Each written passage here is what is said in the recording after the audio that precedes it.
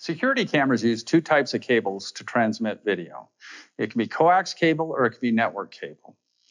Coax cable is often referred to as RG59 or RG6. Network cable is often referred to as Cat5 or Cat6. The important thing to understand is the type of cable you use to transmit video does not guarantee good performance or bad performance. In fact, if you take a coax system and a network system and put them side by side with the cameras having the same resolution, you won't be able to tell the two systems apart. So the first misconception that we want to discard is if you use a network system or a Cat6 system, you're going to have amazing clarity. Reality is you can have amazing clarity with a coax system or a network system, and you can also have very poor performance with a network system or a coax system. So performance and resolution and quality is not a function of the cable. It's a function of the quality of the cable, the quality of the camera, the lens, and the video recorder. So let's first talk about Cat6 cable, network cable. That's the latest craze. Everybody says they want a, a Cat6 network system or an IP system.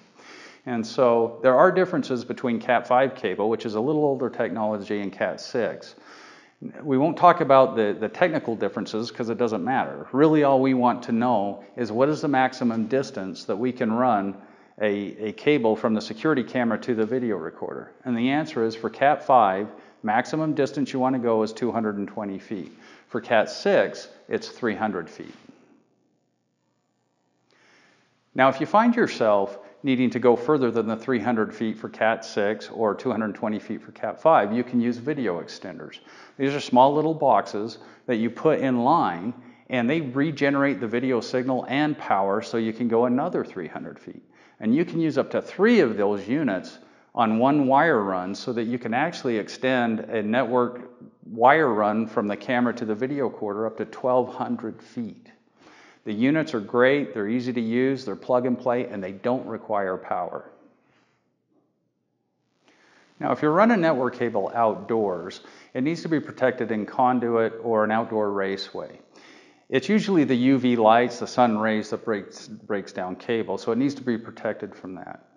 Now, if you find yourself in a situation where that's not practical, we do offer direct burial or outdoor network cable in spools and pre-made cables.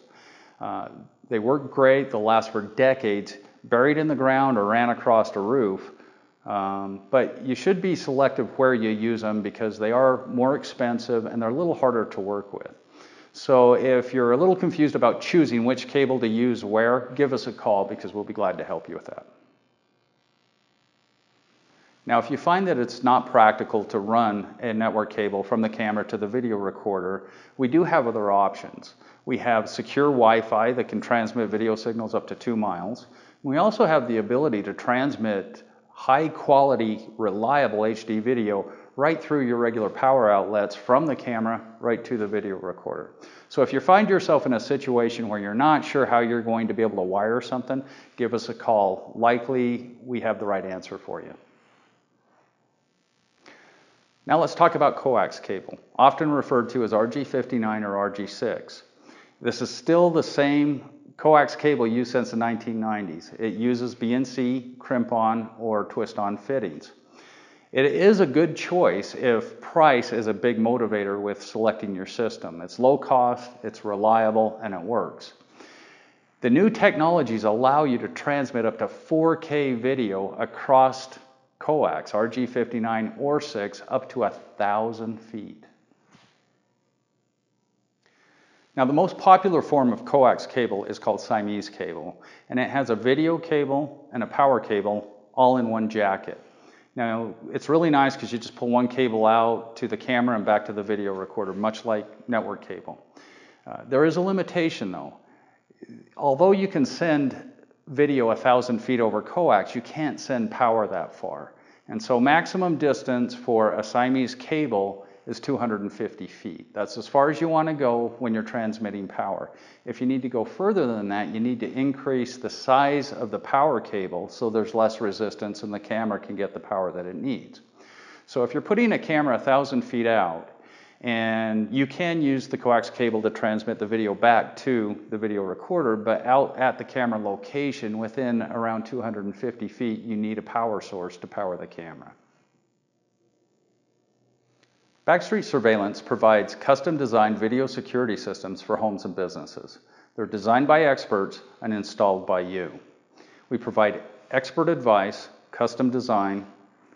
We have the industry's longest warranty, five years, lifetime USA based technical support, money back guaranteed, and free shipping.